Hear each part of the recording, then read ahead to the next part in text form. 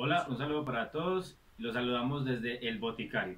Hoy eh, iremos a explorar lo que son las infusiones y poder preparar una infusión en casa podría ser de mucho beneficio. Además, si conocemos qué propiedades tienen las plantas y hoy vamos a tener tres plantas muy importantes en nuestro hogar. Entonces, vamos con la preparación de infusiones. Hoy, en trucos y recetas, vamos a aprender que cada planta requiere una preparación diferente para aprovechar al máximo sus propiedades. Pero el boticario hoy les presentará la infusión, una de esas preparaciones que vamos a aprender en el transcurso del boticario. Hoy con la caléndula, la albahaca y la manzanilla. Espero lo disfruten. Bueno, y para las infusiones vamos a aprender varias formas en las que las podemos hacer. Son muy fáciles y muy útiles a la hora de cuidar nuestra salud, de generar espacios o sensaciones diferentes en casa, o bueno, diferentes beneficios que ahora los van a conocer. Pero en este caso, ¿qué necesitamos para una infusión? Necesitamos las partes como las hojas o flores, que son las partes más tiernas y más blandas de las plantas. Eh, para este tipo de preparación eh, son las indicadas. Bueno, y para la infusión vamos a tomar una de estas eh, hojas, flores o semillas que tenemos acá. Tenemos hojas de albahaca, semillas de manzanilla o flores de caléndula.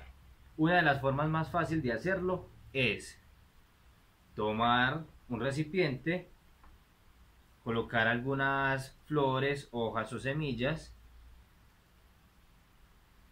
alrededor de una, cuchara, una cucharada eh, por, por vaso y agregar agua caliente. Para eso vamos a esperar de 10 a 15 minutos, procurando también eh, taparlo. Lo podemos tapar con cualquier cosa. Así eh, vamos a procurar que no se enfríe tanto. Y lo podemos consumir frío o caliente. ¿Y de qué otras maneras podemos hacer una infusión? Pues bueno, podemos utilizar las hojas de albahaca en este caso.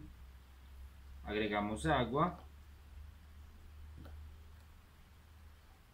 Y dejamos reposar, recuerden, tapada durante 10 o 15 minutos. Al terminar podemos colar o retirar las hojas, las semillas o las flores eh, del, digamos, del recipiente para solamente tomarnos el agua. Eh, ¿Qué otras cosas existen para hacerla? En este caso podemos mostrar que ya hay vasos que contienen, digamos, un recipiente adicional con algunos agujeros para colocar las hojas o las flores, como deseemos.